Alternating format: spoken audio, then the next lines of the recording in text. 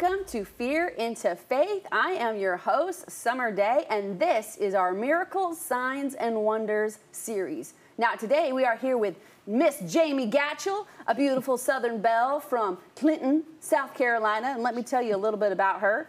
She is a mom of three and has two bonus children. She is a grandmother of four. She's been married to her fabulous husband, Keith, for 22 years. And something interesting about Miss Jamie is she likes collecting seashells, cooking, and reading. Now, we get to talk to her today about her miracle story where she had her baby healed in the womb. Are you ready for that? Here we go. Miss Jamie Gatchell. Hello, darling. Hey. How are you? I'm doing well. How are you? I'm so excited for you to be here. I am too. Now, I got to make a warning right now. Sometimes when I'm around people that have that beautiful Southern accent, it just starts to come out in me, and it might just turn into the two of us being Southern. Well, that's okay. that's okay. Well, I am so glad to have you here, and I know that your story of your miracle with what happened with your daughter uh, was in our book actually last season. Yes, so we're excited to have was. you here and and have people see the face behind the story and he, hear all about what the Lord did. So let's start there. Let's go back and I have you share that story. So I we'll will. start with how far along were you when you were pregnant? I could not have been more than 17 weeks. It was um, back in the day, 32 years ago, when I was pregnant. You you went for an initial. Let's just check things Yeah. out, and hopefully we can tell you if you're going to have a boy or a girl if the baby's positioned right. Correct, yeah. And um, so that was the the ultrasound we were going for, and um, that day we were going over, and um, we went back, and um, they had me in the gown. And the ultrasound technician was doing her thing, and my husband, at the at the time, mm-hmm. David, my children's father, he was there with me, anxiously waiting to see, you know, what the sex of the baby was going to be and everything. Which is And- always a really exciting time. I'm a mom of three. I remember those times vividly. Oh, we were so excited, and we were so young and just crazy. And it was your, your first child? My first yeah. child. Okay, so the excitement was very high. and it I'm was sure. going to be the first child, a grandchild on both sides of the family. Wow. So everything. Everyone on was it. highly invested. Okay. Yes. um, and all of a sudden, she said, "Y'all are going to have to excuse me. I need to go get the doctor." Hmm. I looked at David, and he was like, "Well, I wonder what's wrong." I said, "There's nothing wrong." Hmm. And When you said that, I felt like you could almost feel the atmosphere shift in that there room. was nothing wrong. She's trying to take it this way, and you're like, oh no. There's nothing wrong. and um, so she went. She got the doctor, who, by the way, you know, when you you're going to an OB office, you know, and you don't necessarily see your regular doctor Okay. at every um, Appointment, yeah. Appointment. Yes. And so, another doctor that I knew, but I had never seen him Mm-hmm. Came in and he started looking at the ultrasound and he took the wand and he started Mm-hmm. going over my belly and he said, Excuse me. So we were just sitting there. You know, what in the world? And um, I was told to get dressed and we went into the doctor's office. And um, he laid this out and he had a book and he said, Okay, this is what we have. Your baby has a cyst on her brain. There's only been 11 case studies. Wow, in the whole world. That's what he said 11 at case time. studies. 11 Wow. case studies. And I faxed MUSC, the Medical University of South Carolina in Charleston. Uh-huh. And, um, you know, the prognosis just doesn't look, look good. Wow. I suggest that you let me set up a D&C. And I said, no, Wow. So his thing was you needed to terminate the pregnancy. Exactly. Wow. And I said no because there's nothing wrong with my baby. My baby is going to be healed. Wow. So you instantly just right into faith. I mean, the show's Yeah, called Fear that's Faith. all I- you did not have that moment of like, or panic or anything. You just were able to go, nope. No, you're they wrong. weren't going to take the baby that I wanted so desperately. Yeah. They were not going to take my baby. Wow. Um, and my husband took this. He he was like, "Honey, are you you sure? You sure?" And I said, "Yes, I am." And he said, "Good, because I'm sure too." Oh, yay! I love that. I thought you were going to say that he was like not agreeing or anything. Yeah, no, he was like, "I'm sure too." Love it. Awesome. so, um, And what was the doctor's reaction? The doctor when you were like, "No, you're wrong." Basically, how far along are you? And I said, you have my file. And um, he said, I tell you what, since you're so adamant that you want, you want, you're not budging, he said, I'll give you a month. You come back for a repeat ultrasound, Yeah.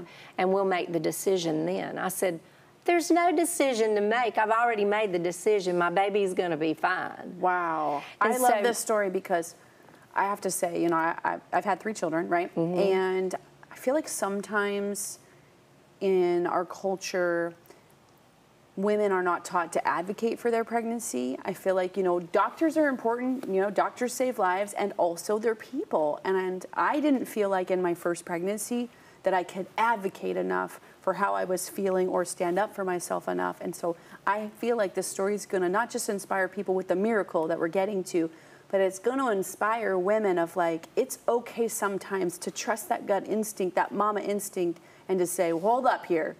I'm not feeling what you're feeling, and um, and take a stand for your own Yeah. your own care. That was beautiful. Well, and it's not just with pregnancy issues. Women, as we grow older, Hmm. we really, you become seen less as a Oh. person. You become more invisible as a person, I think, sometimes. Hmm. And you need to learn to advocate for yourself, Amen. your own health care, because you know your body Yeah. That God's given you. Amen. But I don't mean to to get off track. No, that's good stuff too. I'm Um, like, wow, yeah. So this is not just a miracle story, but also just about standing up and having the courage.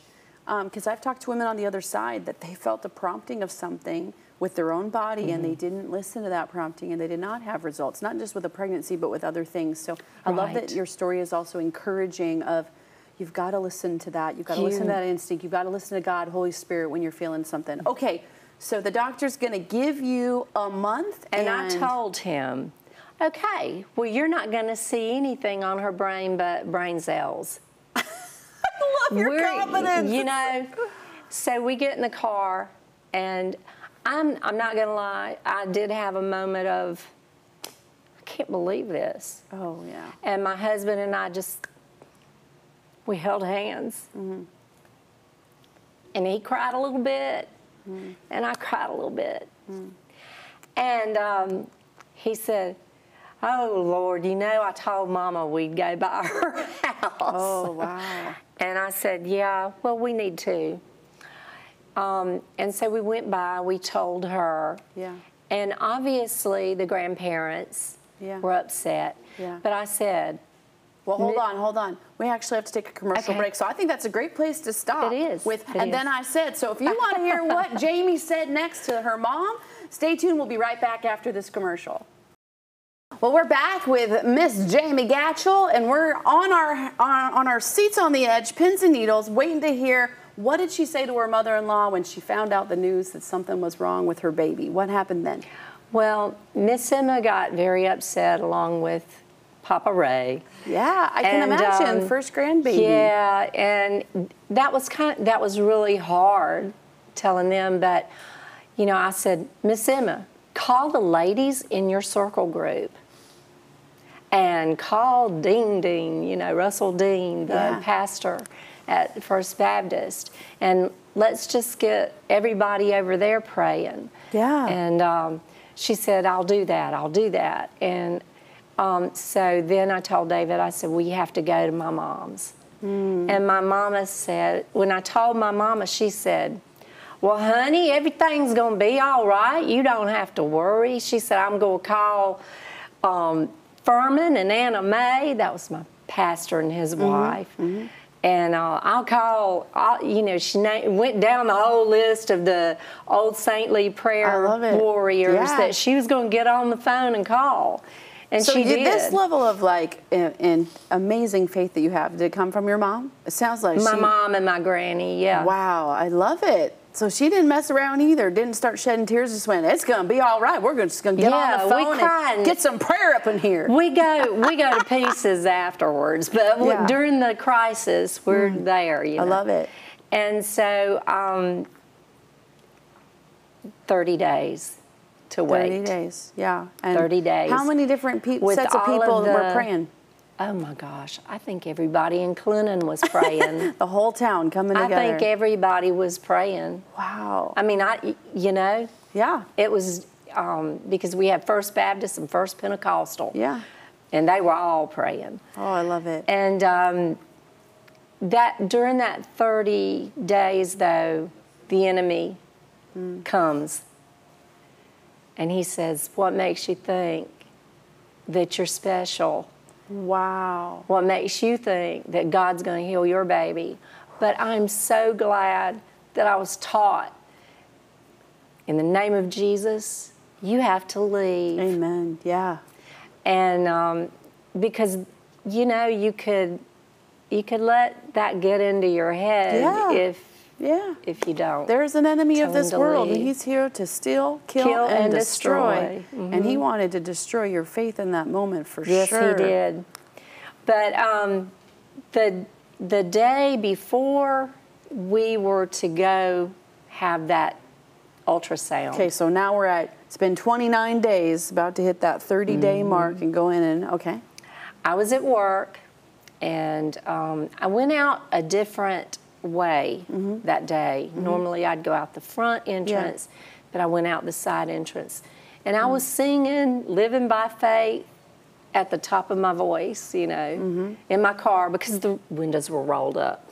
Because if they were rolled down, yes, then you're not gonna down, say- okay. I may not say, well, I probably would have. anyway, Yeah, you um, probably would. we get to that, I get to the um, stop sign there, and all of a sudden, I had the strangest sensation. Hmm. It felt like God's hand went inside my womb. Wow. It did. I felt the Holy Spirit just surround me. I felt like Moses in the clouds, Wow, you know? yeah. It- and um, I just knew then I was healed. The baby was healed. Everything's going to be fine for sure.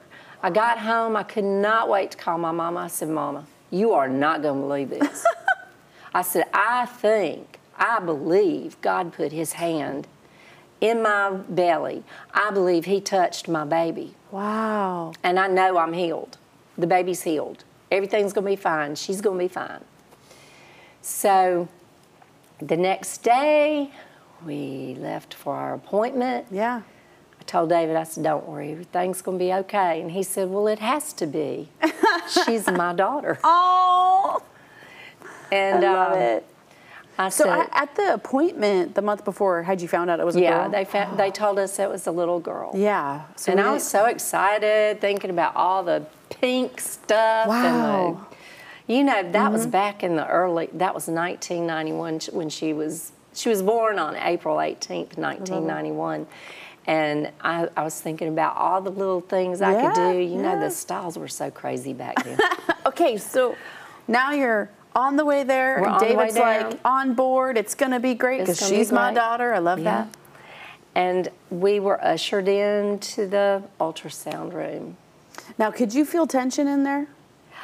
Joan was, the lady was very nervous. Yeah. The I lady bet. Mm-hmm. was nervous, and um, I wasn't. I walked in. Well, I, I may have had a little nerves, but you know that's only that's only natural. I'm yeah. human. Yeah. But I walked in there like I owned that doctor's office. and Toss, um, toss with the hair. yeah, man. I walked in there. I said, "Hey, hey, hey," and um, we went back there. I got the gown on. She starts doing it, and she does it around there again. And she says, "I've got to go get the doctor." So she runs out this time. Wow. I looked at David. I said, "She didn't find that cyst. That's why she ran out." That just got chilled. and he, he started laughing. He started laughing. And uh, then she came in with the doctor Yeah. who had recommended the D&C, wow. and he couldn't find it. And he said maybe the surrounding brain tissue absorbed the cyst.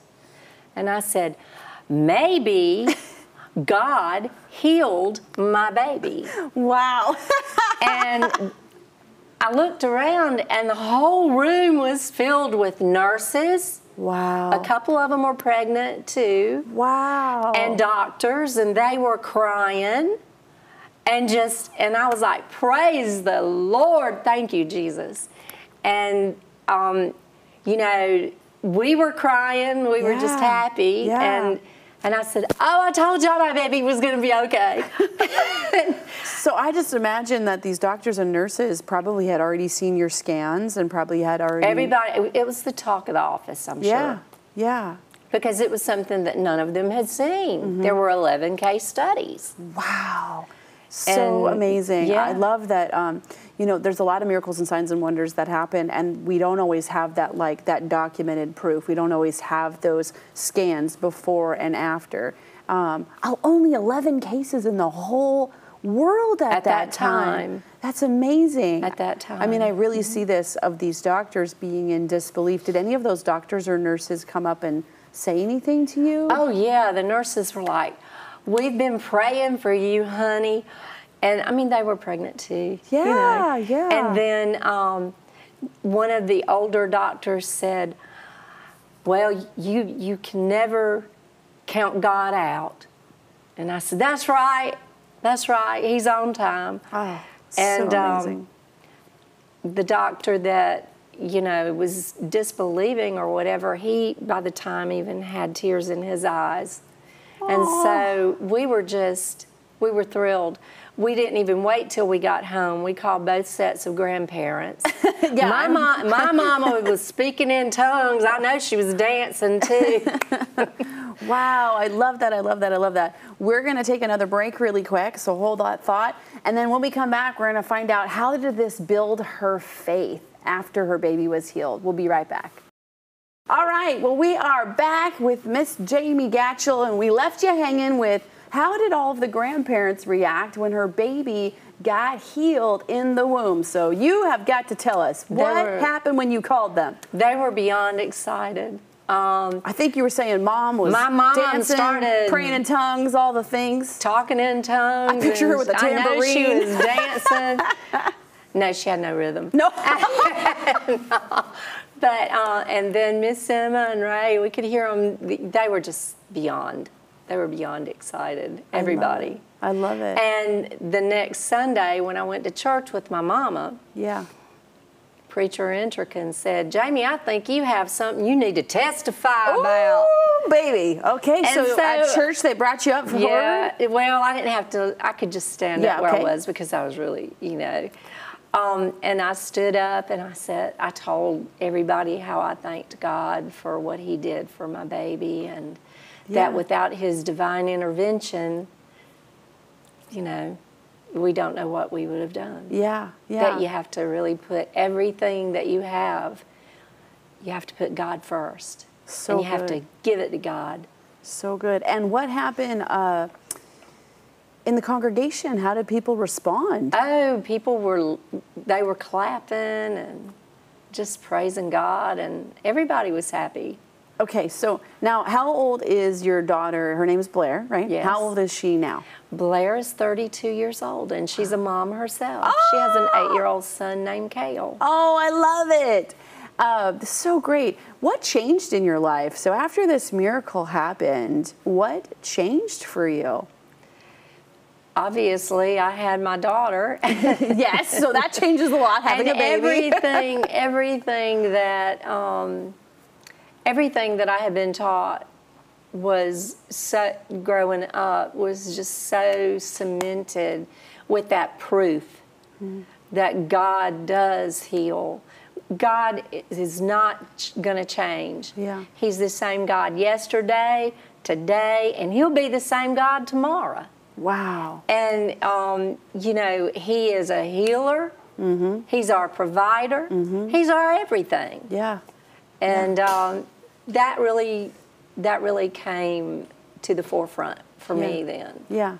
Let's talk a little bit about uh, the day she was born. So, already, when it's the first child for anyone, that just seems, seems to be a pretty big deal when it's the day you become a mother. And then it's the first grandchild on both sides. Yes. And then this happens where first there's the scare of the you know cyst on her brain, and then she's healed.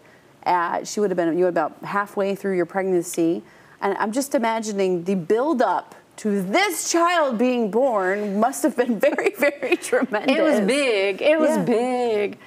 And uh, So my- tell us a little bit about that day. that day, it was um, April, she was born on April 18th, and we went to the hospital, of course, on the 17th. And I mean, there was a lady, uh, well, a younger girl beside me. You know, they take you in and check you out and everything. And then, and she was screaming, and I said, David, David, make her stop or do something. And he, Why was she screaming? because she was in labor. Oh! And, I was thinking she was and a I nurse. wasn't. And oh, so so the lady next to you. I did the I did the curtain back and I said, honey, my granny always told me the more you scream, the more it hurts. It don't do any good. So give us all a break. and David said, You're gonna get us in trouble. Wow. And I said, No, I'm not. But she stopped. Amen. And, um, anyway, um, then they they took me back to I had the birthing suite, man. Ooh, nice. And um, they took us back and they found out I couldn't deliver Blair naturally because she was eight pounds, 11 and a half ounces, and I had to have an emergency C section. So I don't know. Maybe if 8, 11 was big back then, that's not so I, big I- now. I was a lot smaller back then. Okay. Okay. I was like, my biggest was 9 too. Didn't have to do that. Yeah. Well, um, and my mama and Miss Emma were both at the door saying, "Oh, come on, Jamie, you can do it. You can do it." And I said, "David, please get the parents out from the please, honey."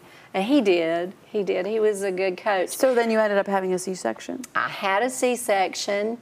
Did you have any moments of, of doubt or fear or worry from the day she was healed and kind of till then? No, No. no. The enemy never came at you again. You just. Well, he may have, but I got rid of him. you know. so then you end up going in for the C section? Mm-hmm. And then tell me about when she was born. When she was born, she was perfect. She looked exactly like I had nothing to do with her birth or her genetics. she looked exactly like her father. Not sure what you're trying to say about you with that comment. He was very handsome, and um, and you know I didn't get to hold her because they whisked me away, and then I mean, well, and they just held her down so Yeah. I could see her, and I said, "Oh my gosh, she looks just like you, David." So tell me about the moment when you were able to hold her. Well, I had to wait on Reverend Russell Dean, who was who had just flown in from Seoul, Korea. He got to hold my baby before I got to Well, hold why her. did you have to wait for him? Because he came in and he said, "Can I hold the baby?" And the nurse handed him my baby before I got to hold you had a you had him fly in from Seoul, Korea. no, he flew in. He had just landed, and he came straight to the hospital when he For you?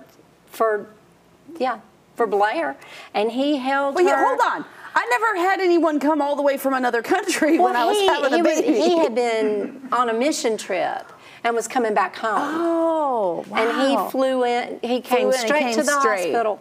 And Because I'm sure there was still a lot of like buy-in with this. I'm sure people at the congregation, Yeah. everybody was still waiting. I'm sure there were disbelievers. I'm sure there were people thinking maybe she'd still be born and have an issue. I, I feel like there was a lot of tension build up. So I could see why he would race to the Well, hospital to be held there. her. We have a picture of him, and he's just talking to her, and she looks like she knows everything he's saying to her. and then they handed her to me, and there's a picture of me going, Oh, you know, like this, and David's there, and he's holding my hand. You know, he's kind of holding me right there, and Yeah. he's looking in. And we had the Nancy Thurmond suite at um, Self Regional Hospital, Strom Thurmond. I've never been there, but it sounds fabulous. Was our senior senator up in Washington at, Yeah. and everything. So we got the the room that she had had all of her babies in. Wow. So. You probably needed that because I'm imagining you had a lot of people We come had a visit lot you. of- yeah, we Tell did. us who came. Who came? Oh, everybody. I'm sure not the whole town of Clinton. No, not the whole town, but every all of our our friends, our relatives, you know, everybody came to see. They had no cap because sometimes hospitals are only letting you know a couple people come in. It was No, wide open door. Come on in, Come whole on town. in. Come on in. What besides you holding her? What was the other big memory of you know maybe the grandparents holding her, husband holding her? Well, David kind of fainted during the C-section, if I remember correctly. No, He- let's just decide he fainted because he was so overwhelmed No, he couldn't with stand joy. the sight of blood. Oh my He god, said- so crazy. it looks like aliens. So that movie. Well, But- thank you for sharing this. I just feel like what a journey from the 17 weeks until she was born. What a journey of faith the last 32 years. Uh, I'm so grateful that God aligned our paths, that you knew we were looking for miracle stories, and that you, you submitted your story to be one of them. Because I just know this is going to build a lot of people's faith. So I'm so grateful for you being here. You're so much fun to hang out with and talk to. and I know that Blair is here. Yes. And Blair is in our audience. So I want to get Blair up here because everyone should see this 32 year old gorgeous little thing you got here. so this is her. Oh, this is the 32 year old all this grown up miracle. I love it. I love it. So happy to have you guys both here. And I just wanted to say to all of you listening that God is a God of miracles for today. There are so many incredible miracles, signs, and wonder stories that we have heard.